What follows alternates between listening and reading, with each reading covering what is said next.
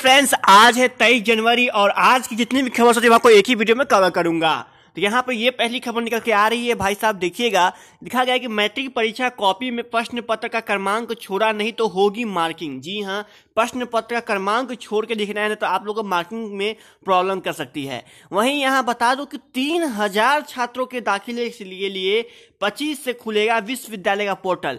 जी दोस्तों, पच्चीस से खुलने वाली है विश्वविद्यालय की पोर्टल। अब फरवरी में हो सकता है उनके यहाँ दीक्षांत समारोह और बढ़ोतरी के साथ ही पंद्रह हज़ार सीटें नहीं भरेगी। दोस्तों, ये खबर निकल के आ रही है बी आर यूनिवर्सिटी मुजफ्फरपुर से। वहीं दोस्तों ए एन कॉलेज में B S C chemistry honours है अगर आपका तो यहाँ पर सुन लीजिए आपका प्रैक्टिकल एग्ज़ाम डेट पच्चीस से स्टार्ट होने वाली है। तो पच्चीस तारीख मतलब परसों से। ये आपका डेट यहाँ पर दिख रहा है। इसको कॉपी कर ले या फिर इसको नोट कर ले या फिर दोस्तों मैं इंस्टाग्राम पर शेयर कर दूँगा। वहाँ पर जाकर देख लेना या फिर टेलीग्राम चैनल फॉलो कर दो जाकर देख लेना। वहीं बता दूँ, यहाँ पर अगली खबर निकल के आ रही कि अगर आपके इंटर और मैट्रिक के एडमिट कार्ड में थोड़ा भी, जी हाँ हल्का भी गड़बड़ी है तो आप लोग केंद्र पर जाना होगा पहचान पत्र लेकर। नहीं तो फिर कोई भी उससे बात नहीं बनने वाली है। वहीं बता दूँ, यहाँ पर कि बहुत ही बड़ी अपडेट निकल के आ रही है कि सीसीटीवी में कैमरे की निगरानी में होगी मैट्रिक और इंटर की परीक्षा। जी हाँ दोस्तों कैमरे की निगरानी में। मतलब इस बार बिहार आपको यहाँ पर चोरी करने का मौका नहीं देगा।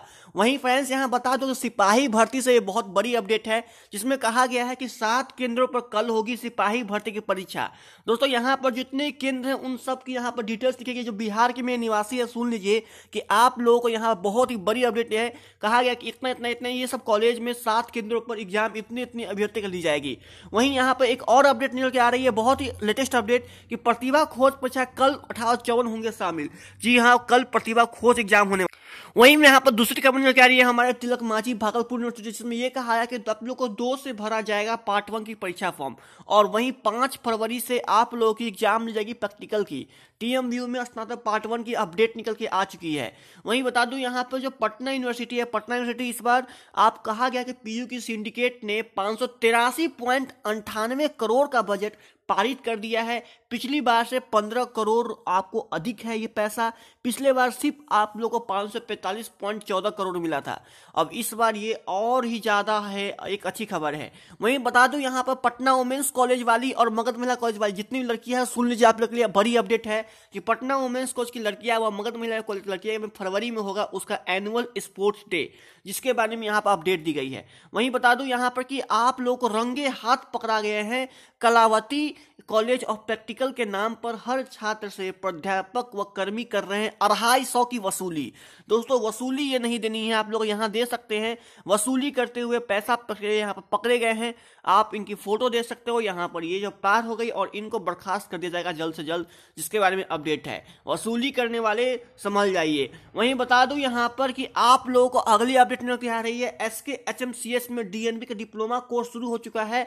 आप लोगों को करना है, जाकर कर लीजिएगा। दरभंगा की तरफ़ से, पटना एल एन एम की तरफ़ से एक बड़ी खबर आपको निकल के वहीं दोस्तों आ रही है। अब आते हैं फ्रेंड्स, नेक्स्ट खबर के आ रही है तीन हज़ार छात्रों के दाखिले के लिए पच्चीस से खुलेगा portal B R Ambedkar university के लिए बड़ी अपडेट निकल के आ रही है तीन हज़ार लोगों के लिए।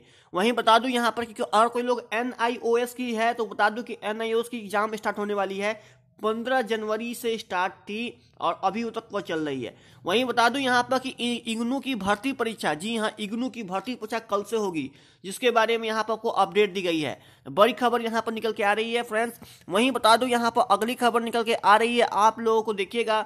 वो दोस्तों यहाँ पर अपडेट है, पीजी सेमेस्टर वन परीक्षा के पहले दिन दो परीक्षार्थी हुए निष्कासित।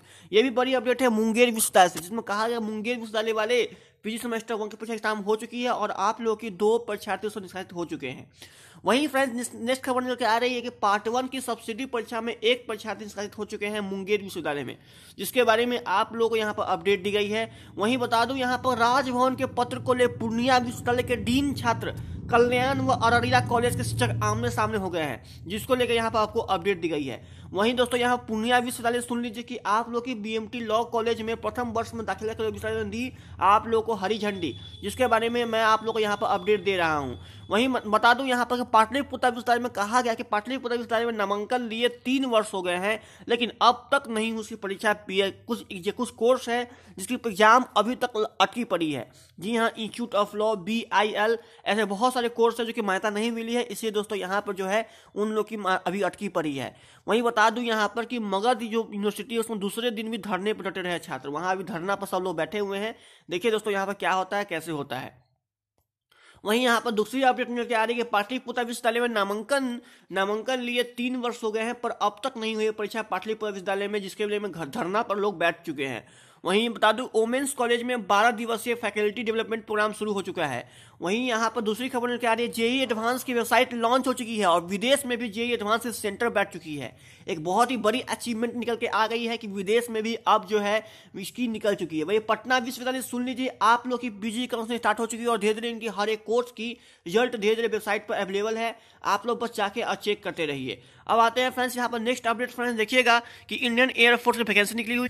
वहीं यहाँ जो पाटलिपुत्र विश्वविद्यालय है, उसमें जो वोकेशनल वाले हैं पीजी और यूजी इस पर मैंने एक स्पेशल दोस्तों वीडियो बना के आप लोगों को कल रात को ही डाल दिया था, अगर नहीं देखा है जाकर देख लेना, मेरे चैनल पे पे उपलब्ध है। अब बता दूँ यहाँ पर कि जो अंतिम तिथि है कॉलेज चॉइस करने की, वो चौबीस एक दो हज़ार इक्कीस तक है। कोई पेमेंट नहीं करनी है, बस आप लोग को कॉलेज चॉइस कर वहीं यहाँ जो बीडी कॉलेज है, उसमें यहाँ पर जो BSc part one botany subject वाले हैं, उनकी सब्सिडी जो है, उसकी प्रैक्टिकल एग्ज़ाम रूटीन निकली हुई है फ्रेंड्स जैसे हो, यहाँ पर रूटीन की स्पेशल जहाँ पर डेट लिखी हुई है। अगर देना है जाकर दे ले, मैं इसे इंस्टाग्राम पर शेयर पर और व्हाट्सएप ग्रुप पर शेयर कर वहीं जो दोस्तों एन कॉलेज वाले हैं, जो कुछ लोग जो एन कॉलेज में थे, उनका डॉक्यूमेंट वर्जन नहीं हुआ था। सुन लीजिए, आप लोग यहाँ पर डेट निकल चुकी है। यहाँ पर हर एक कोर्स का अलग अलग डेट निकल निकला हुआ है कि कौन से कोर्स वाले कब करवा लीजिए। करवाना या करवा लीजिए, अगर नहीं हुआ है तो नहीं तो नहीं करवाइएगा तो आप लोग एडमिशन वहीं बता दो यहाँ पर कि बहुत बड़ी बात कि पटना विश्वविद्यालय की डिग्री को पश्चिम बंगाल ने यहाँ पर फर्जी बताया है और गोल्ड मेडलिस्ट जो स्टूडेंट थे, उन लोगों को नौकरी से हाथ धोना पड़ गया। एक अच्छी खबर दोस्तों निकल के यहाँ पर नहीं आती है, फिर भी दोस्तों जो होना था हो गया। तो बस दोस्तों, आज की अपडेट में यही थी और आशा करता हूँ कि आपको मेरी बात समझ में दोस्तों आई होगी। अगर वीडियो पसंद है तो लाइक कीजिए। और मैं चाहता हूँ दोस्तों, आप सब्सक्राइब किए रखे रहो। सब्सक्राइब करोगे तो सुबह सुबह आपको नोटिफिकेशन मिल जाएगी हर दिन एक अपडेट और ताज़ा खबर के साथ में। अगर आपको इसी तरह न्यूज़ पाइए तो। बस चैनल को लाइक करो, सब्सक्राइब करो चैनल को और हर शेयर करना आप लोग का धर्म बनता है। गुड बाय जय हिंद, जय